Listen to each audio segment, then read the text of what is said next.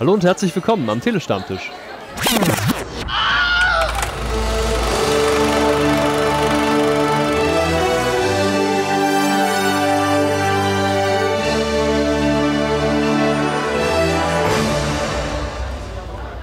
Hallo und herzlich willkommen zu einer neuen Folge von Der Telestammtisch oder möge die Macht mit euch sein.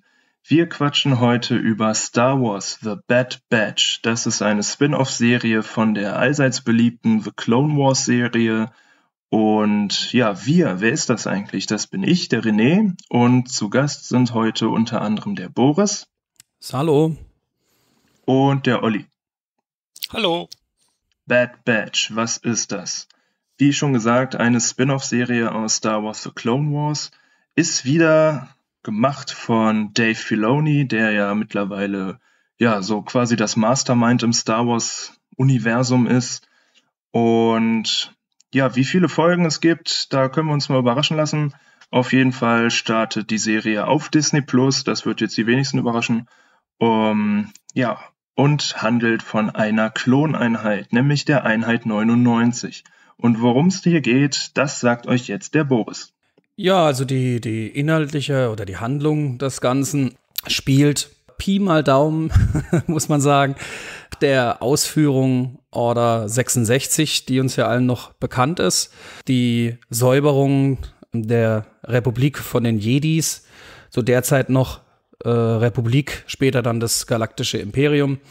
Inhaltlich dreht sich die Serie aber um die Kloneinheit 99, die wir 2020 kennengelernt haben in der siebten Staffel von The Clone Wars, äh, die anscheinend doch ziemlich geflasht haben muss, äh, damit sie jetzt einen Spin-off erhält. Kloneinheit 99 ist eine genetisch manipulierte Kloneinheit, also eine experimentelle äh, Kloneinheit, die, das kann man schon vorneweg sagen, oft von anderen regulären, wie sie auch genannt werden, Rex-Truppen als ja, Behinderte angesehen werden.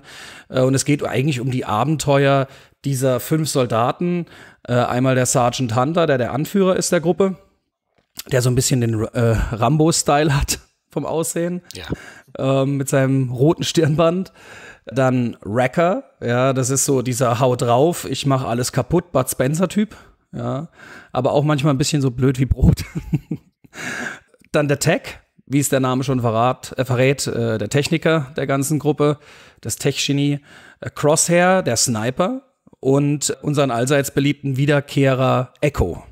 Und wie gesagt, es geht eigentlich um die Geschichten dieser Truppe nach der Order 66, beziehungsweise beim Ausrufen oder nach dem Ausrufen des galaktischen Imperiums durch Imperator Palpatine. Genau. Also die Serie setzt quasi parallel zu den Handlungen aus Clone Wars an, beziehungsweise aus Star Wars Episode 3 und bietet dadurch natürlich nochmal andere Einblicke in die Order 66. Olli, was sagst du dazu? Ja, also ähm, die ganze Truppe ist natürlich eine der buntesten. Wie ich nachlesen konnte, hat sich eigentlich George Lucas schon sehr viel früher dazu entschlossen. Er wollte es eigentlich schon früher realisieren, so eine Truppe. Erinnert so ein bisschen an weiß nicht, so Gruppen wie Avengers oder so, wo du, wo du so typische Klassen hast, wo du genau weißt, das ist der Berserker, das ist, äh, was weiß ich, der Scout oder so. Und das haben wir jetzt hier bei einer Kloneinheit. Mal ganz kurz abnöden. Kloneinheit 99 ist natürlich eine Hommage an den deformierten Klon 99, den wir ja auch in Clone Wars kennengelernt haben. Mhm der Echo ja das Leben gerettet hat und selber dabei gestorben ist. Und als Echo dann in, als äh, Cyborg, er hat ja auch ein paar Körperteile verloren, als Cyborg dann in die, diese Bad Batch eintritt, wird das Ganze dann auch Kloneinheit 99 äh, genannt. Ja. ja, wie fand ich es eigentlich sehr, sehr geiles Konzept, überhaupt diese Gruppe dann nochmal aufzugreifen und da eine Serie draus zu machen verspricht sehr viel Potenzial. Allein schon der Umgang, wie das jetzt mehrfach angedeutet wurde, der Umgang mit der Order 66. Also was passiert? Wie wirkt sich das auf unsere Gruppe aus? Und in was für Konflikte geraten sie gerade mit den Klonen, die ja auf andere Weise auf diese Order 66 vielleicht reagieren. Also ja, die kann ja auch sein, dass Brüder sind, ne? Genau, das kann sein, dass sich da plötzlich Verhältnisse ändern, dass der eine nicht mehr auf den anderen herabblickt, sondern andersherum und so. Also ich bin gespannt. Ja, gespannt darf man mit Sicherheit sein. Ich finde auch, es ist eigentlich großartig, dass wir diese Serie jetzt bekommen. Denn ich war eigentlich echt sad, als Star Wars Clone Wars dann nach der siebten Staffel beendet war. Denn für mich war die siebte Staffel eigentlich so mit das Geilste, was es in den letzten Jahren bei Star Wars gab. Und ja, in, äh, in Staffel 7 hat man ja auch Kloneinheit 99 zum ersten Mal gesehen. Deswegen finde ich es eigentlich ganz cool, dass das Potenzial auf jeden Fall erkannt wurde und wir da jetzt nochmal neue Abenteuer im ja, gleichen Universum von diesen Animationsserien jetzt sehen. Die Serie soll Canon sein, genauso wie es Clone Wars ist. Deswegen darf man da auf jeden Fall noch einige interessante Sachen und ja wahrscheinlich auch Anspielungen und Querverweise auf Filme und allgemeinen Star Wars Content erwarten. Ja, was sagt ihr dazu, dass Folge 1 ganze 73 Minuten geht? Also ich denke, dass, dass es genau richtig war. Ja, weil es greift natürlich, äh, wie jetzt auch schon ein paar Mal erwähnt, die Order 66 an. Und da muss man einfach erstmal den Übergang, weswegen ja auch die Serie nicht mehr Star Wars The Clone Wars heißt, sondern The Bad Batch. Warum ändern wir jetzt das Ganze? Warum ist dieser, obwohl dieser gleiche Zeichenstil, die gleichen Charaktere, die wir ja über mehrere Jahre kennengelernt haben, warum geht es von dieser Republik über ins Imperium. Also ich meine, klar, wer natürlich ein Star Wars-Fan, Star Wars-Nerd und so weiter ist, der wird das alles wissen, aber die Figuren, man möchte es ja auch sehen, wie die Figuren das selbst erleben. Ja, das, äh, was ja auch Olli sagte, ja, äh, der eine plötzlich reagiert so darauf, wie reagiert der andere drauf. Ähm, dann, wir haben immer wieder von diesen Chips erfahren, die bei den, oder das wissen wir ja, von diesen Chips in den, in den Klonen, und das macht das Ganze interessant und natürlich auch so weit gefächert. Und ich denke, dass 73 Minuten doch passend waren, gerade für den Auftakt. Äh, die weiteren Folgen sollen nicht so lange sein, aber für den Auftakt war es perfekt. Ja, ich meine, man muss sich überlegen, wir befinden uns ja eigentlich in einem der spannendsten Jahre so aus dieser Zeit. Also in den Zeitrechnungen ist es ja das 19. Jahr vor der Schlacht um Yavin. Und das ist halt das Jahr, in dem das Imperium ausgerufen wurde. Und es passiert ja unheimlich viel dann auf die Art. Und zwar nicht nur äh, auf Coruscant, sondern halt überall, wo das Imperium halt schon Fuß fasst. Im ganzen Universum. Ja, also ja, Outer Rim, äh, Galaxie, Galaxie halt, also ja. ja, ja, genau. Und insofern wird, da ist unheimlich viel Potenzial drin, gerade weil das ja nicht nur einfach ein Umbruch ist, sondern man, man überlegt sich, man hat zwar in den, in den äh, Kernfilmen zwar so ein bisschen gesehen, okay, die Droiden werden jetzt ausgestellt und so, aber selbst da ist ja noch viel, äh, was da passieren kann. Man kann sich Splittergruppen von ehemaligen Separatisten vorstellen, die jetzt plötzlich sich trotzdem gegen das Imperium auflehnen und all sowas. Und das erfährt man ja am ehesten nicht durch irgendwie einen Senat oder einen Imperator oder so, sondern durch Soldateneinheiten und sowas, die da vor Ort noch sind oder da dann nochmal hin, um auf, aufzuräumen, nochmal hin müssen. Ja. Ja. Vor allem würde ich, und das würde ich auch erwähnen, wir müssen auch diesen Übergang finden, denke ich, ins Imperium, wo, wo, wo sich ja George Lucas auch am Dritten Reich äh, äh, ziemlich gehalten hat, damals im Original. Das Imperium war ja sehr rassistisch, ja, gegenüber Alienrassen. Und wir wissen ja aus, und auch gegenüber Kloneinheiten, also wir erfahren es ja auch äh, selbst dann in den Prequels, äh, nee, Sequels, 7, 8 und 9 Episode, dass, dass selbst die First Order von den Kloneinheiten Abstand nimmt. Also sie wollen keine Kloneinheiten in ihrer Armee. So war das Imperium ja auch. Und auch wenn man sich ein bisschen mit Star Wars auskennt, weiß man, dass zum Beispiel die Sturmtruppen des Imperiums keine Kloneinheiten irgendwann mehr, irgendwann mal mehr waren. Ja. ja. Also was passiert denn mit diesen Millionen an Klonen? Ja, die, es sind ja jetzt nicht nur Rex, Cody, Wolf und so weiter, Gregor, wobei wir von denen ja ein bisschen mehr wissen, durch Rebels und so weiter. Aber die anderen Einheiten, ja, äh, was ist, was passiert denn mit denen? Ja, warum, warum werden die denn irgendwann dann doch ausgetauscht gegen Menschen? Und warum ist das Imperium so rassistisch gegenüber Alien-Rassen? Ja, weil es gibt bekanntlich kaum Offiziere zum Beispiel im Imperium, die, die äh, von der Alien-Rasse äh, den Rang Also die, die, die, eine Alienrasse, die den Rang eines Offiziers trägt. Ja. Nehmen wir mal jetzt Thrawn raus. Und das ist einfach, da muss man so eine Überleitung finden, denke ich. Ja, ich finde auch genau da liegen die Stärken von so einer Serie wie jetzt Bad Batch. Ich meine, ich, also ich hatte Clone Wars vor einer Weile nochmal von Anfang bis Ende durchgeballert, relativ am Anfang von Disney Plus. Und viele von meinen Arbeitskollegen tatsächlich haben mich dann gefragt, ist doch eine Kinderserie.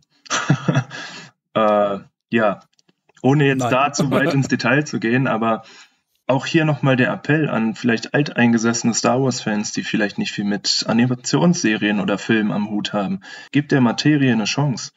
Weil Definitiv. mit so einer Serie wie Bad Batch kriegen wir einfach extrem schöne Einblicke in die tiefere Materie, die ein Film niemals erreichen würde, würde ich jetzt mal die These aufstellen. Ich glaube, so eine Serie wäre in real gar nicht umsetzbar.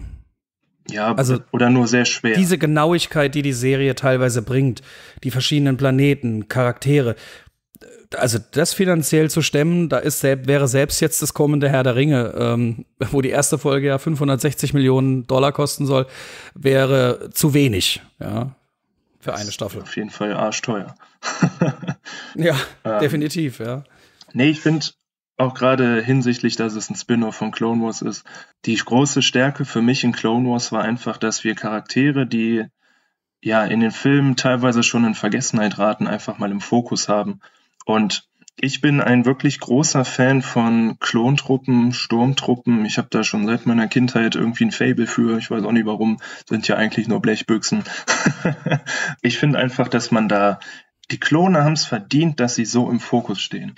Weil wie du schon gesagt hast, es gibt so viele verschiedene Klone und wir lernen, dass die Klone irgendwann auch so eine Art, ja, ich sag jetzt mal in Anführungszeichen, Bewusstsein kreieren und sie wollen Namen Auch einen haben, eigenen Charakter. Charaktere, genau, sie wollen ja, einen ja. Namen haben, sie wollen sich abheben, sie sind sich bewusst, was sie sind, sie wissen aber, dass sie mehr sein können.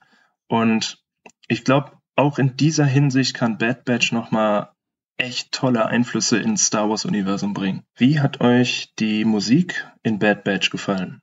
Grillenzirpen. Nein, ich sag gern was dazu. Also ab und zu klingen natürlich so ein paar klassische Themes an.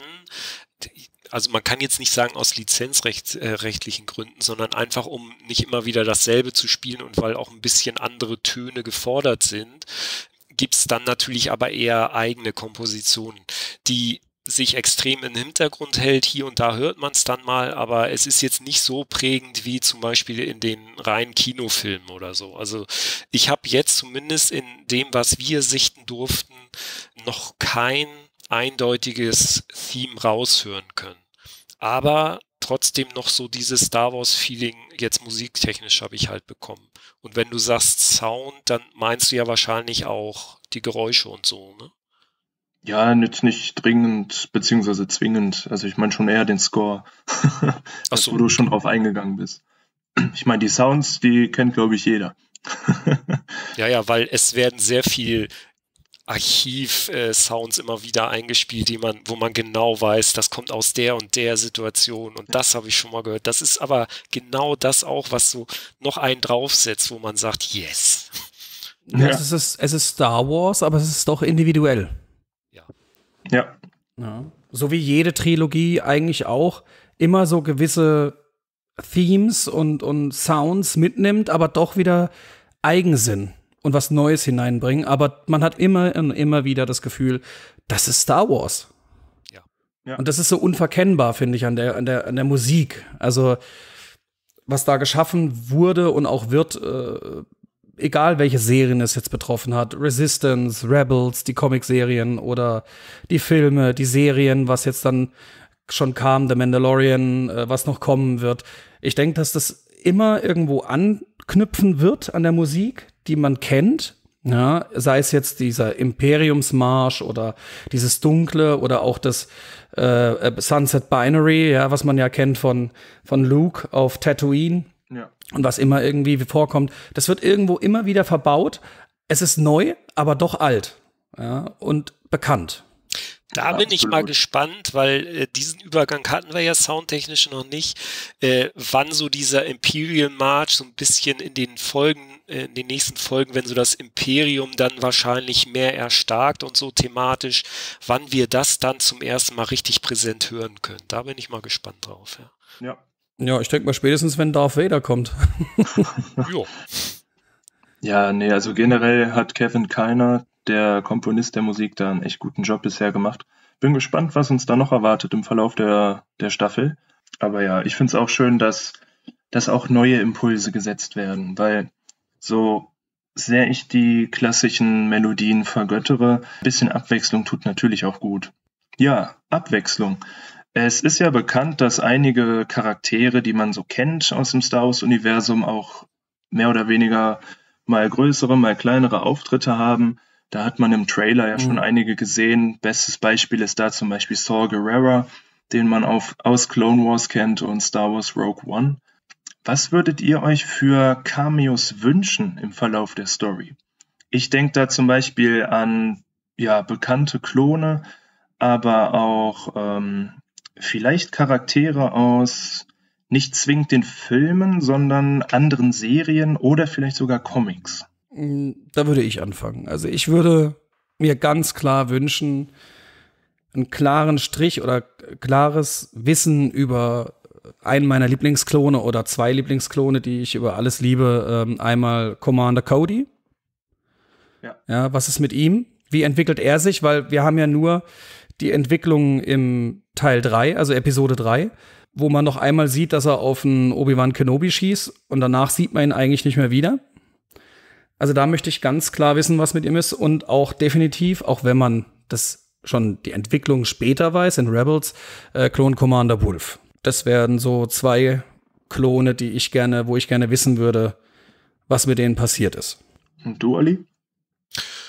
Schließe ich mich an äh, interessiert mich natürlich auch, hat ja eine, eine erzählerische Lücke irgendwo dann so ein bisschen, also ja, wenn man so diesen Komplettierungsgedanken hat, so ein bisschen hinterlassen. Äh, und dann natürlich gehe ich natürlich voll, ich würde, natürlich gehört sie dazu, Ahsoka natürlich sehen wollen. ja gut, die ist, die ist ja, glaube ich, aber unterwegs, ne, zu dem Zeitpunkt. Die, das hat man ja, in, also ich denke, Ahsoka wird vielleicht weniger vorkommen, weil man die ja eigentlich in Episode 7 abgeschlossen hat. Ja, und sie wird ja eine eigene Serie kriegen, eine Real-Life-Serie. Und also eine, eine echte Serie. Und, und ich denke, dass man da nicht so viel vorwegnehmen wird. Klar, Ahsoka passt immer rein. Also machen wir uns nichts vor. Ahsoka ist Teil des Star Wars-Universums. Äh, bekannt, so wie du es ja sagtest, sind ja Saw Gerrera. Äh, dann auch ein, ein Charakter aus äh, The Mandalorian, die Fennec Shand, ja, diese Sniperin, die Kopfgeldjägerin. Tarkin wurde bestätigt. Ja. Vader wurde bestätigt. Ja. Und auch Rex. Ja. Da könnte dann natürlich wiederum ein bisschen vielleicht auch Ahsoka dabei sein, wer weiß, ja. Weil ja Rex im Prinzip am Schluss mit Ahsoka zusammen war und äh, unterwegs. Aber ich denke, also ein was, Stück weit möchte ich mich auch überraschen lassen.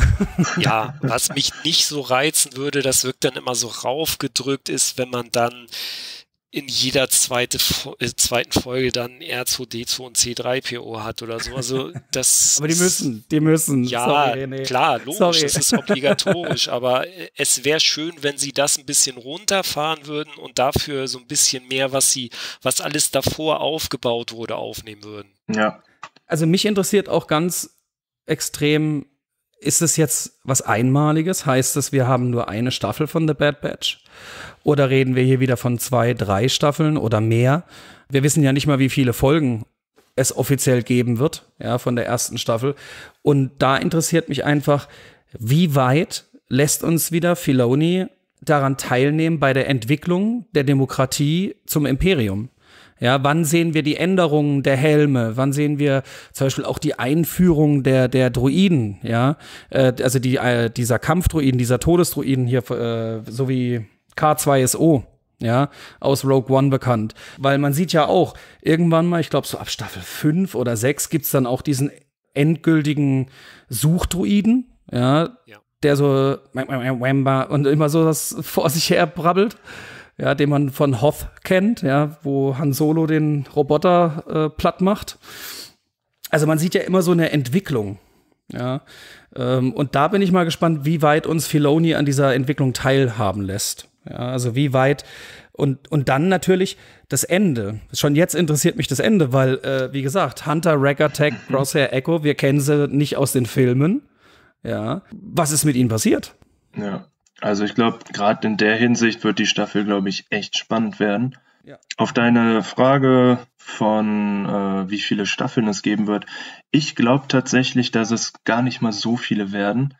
Äh, weil wenn man sich die aktuellen Entwicklungen von Disney ansieht, würde ich tatsächlich eher davon ausgehen, dass wir vielleicht ein, vielleicht zwei Staffeln bekommen und dann der Fokus mhm. nochmal auf irgendwie was anderes gesetzt wird. Auch vielleicht im, als Clone Wars Spin-off, nur halt aus einer anderen Perspektive. Das kann ich mir ganz gut vorstellen. Also ich glaube nicht, dass wir hier wieder, weiß ich nicht, vier, fünf, sechs, sieben Staffeln bekommen. Ich denke eher, dass das vielleicht noch mal mehr ein Bindeglied zwischen äh, Clone Wars und Rebels wird und wir im Zuge dessen dann auf jeden Fall noch mal irgendwie ja andere Charaktere sehen werden.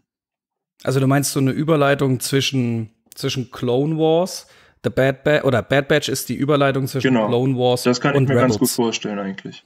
Und zu deiner ja. zu deiner These mit den Helmen, ich glaube, es wird tatsächlich ähnlich laufen wie in Clone Wars, falls es thematisch äh, thematisiert wird ähm, da wurde ja auch quasi ohne Ankündigung dann ein neuer Helm gedroppt, dass man mhm. nach und nach diese Übergangsphase haben wird. Das kann ich mir ganz gut vorstellen. Die Weiterentwicklung ja. der Rüstungen. Genau. Ja, es äh, sind viele Fragen. Ja. Bisher wenig Antworten. Aber das kennt man ja von Star Wars. Aber ich bin auch voll bei euch, was zum Beispiel diese, ja, diese Entwicklung der Soldaten einfach, das ist so interessant. Und das fand ich auch bei The Mandalorian so zum Beispiel toll. Ja, ich muss es einfach auch mal anschneiden, dass man auch da immer wieder auch mal so kurz den Fokus auf die Truppen gelegt hat. Ja. Wer erinnert sich nicht an The Mandalorian Staffelfinale, wo die zwei Scout-Truppen sich unterhalten und der eine seinen Blaster ausprobiert und nicht trifft und, und, und ein bisschen mal einfach ein bisschen quatschen miteinander. Das, äh, das, das liebt man auch an Clone Wars. Ja, die, wenn die ganzen Klone, egal ob es äh, ein verstorbener Fives oder ein Echo oder Hardcase und wie sie alle heißen, man, man, man, ja, man verliebt sich regelrecht in die Figuren. Man will wissen, wie geht's denn, wie geht's denn weiter, verdammt nochmal. Ja, und genau ja. da liegt die Stärke von der Serie. Ja, und ich glaube, damit können wir auch so langsam zum Fazit übergehen. Ja, was vergeben wir denn da? Truppenhelme? Boris. Mach mal Blaster. Ja, oder Blaster. Boris, würde ich mal vorschlagen. Möchtest du den Anfang machen? Wie lautet dein Fazit zu Folge 1? Ich bin geflasht. Also ganz einfach. Ist, äh, ich bin so froh, dass The Clone Wars jetzt mit The Bad Batch weitergeht, nachdem wir ja so viele Jahre leider pausieren mussten nach der sechsten Staffel, äh, letztes Jahr die siebte Staffel, die ja auch ein hammergeile Staffel war. Ähm, hat ja René auch schon gesagt. Und äh, also ich bin wirklich geflasht. Ich möchte mehr, gib mir mehr Input, gib mir mehr in, äh, Content, ja, immer mehr. Also ich gebe allein, weil es einfach schön gezeichnet ist. Es sind schöne Stories. Es ist mal traurig, mal lustig. Es ist alles dabei. Es ist, wird, so möchte ich Star Wars sehen. Ja, und daher gebe ich wirklich, was ich ganz selten mache, volle Punktzahl, fünf Blaster. Ui. Sorry, ich bin, ich bin gehypt.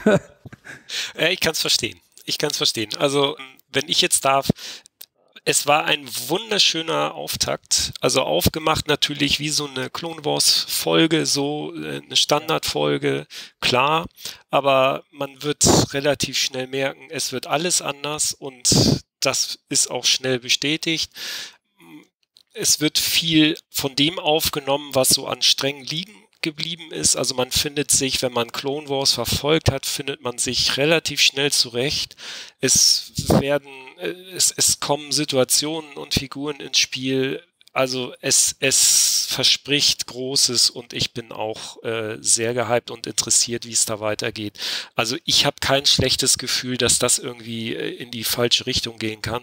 Qualitativ hast du auch recht. Es ist im Stil von Staffel 7, also schon von den Animationen her und so Figuren, die nur kurz vorbeilaufen, sind trotzdem nicht limited animiert, sondern die haben eigene Kopfbewegungen und Augenbewegungen mhm. und so. Das sind so Hintergrunddinge, die einem das Ding noch dreimal gucken lassen und man findet immer wieder was. Und das mochte ich auch schon damals an den klassischen Filmen, dass man immer wieder irgendwas als Kind äh, noch sehen konnte und das erfüllt ist.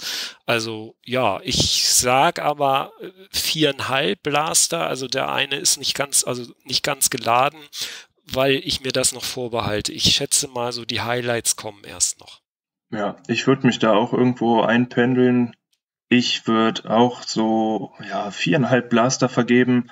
Ich fand den Auftakt auch wahnsinnig gut. Ich fand's, wie auch hier schon erwähnt, echt toll, dass die Folge 73 Minuten ging. Gibt dem Ganzen nochmal so eine extra Würze. Es gibt der Folge genügend Zeit, um sich zu entfalten, die Charaktere nochmal vorzustellen und ja, ich würde die These aufstellen, dass man auch ohne alle sieben Staffeln Clone Wars gesehen zu haben, ganz gut hier einsteigen kann. Denn am Anfang gibt's ja nochmal ein kleines, ja, eine kleine Inhaltsangabe, was denn so passiert ist, worum es jetzt eigentlich geht. Würde natürlich trotzdem empfehlen, Clone Wars einmal zu gucken. Aber ähm, definitiv. Ja, da führt kein Weg dran vorbei, oder? Aber nee. ähm, ich bin auch sehr gespannt. Also die Staffel verspricht tolle Unterhaltung im Star Wars-Universum und ich bin mir eigentlich auch sicher, dass sie uns alle begeistern wird. Es gibt klitzekleine äh, Schwachpunkte in der Folge, ähm, ist allerdings eher eine persönliche Sache.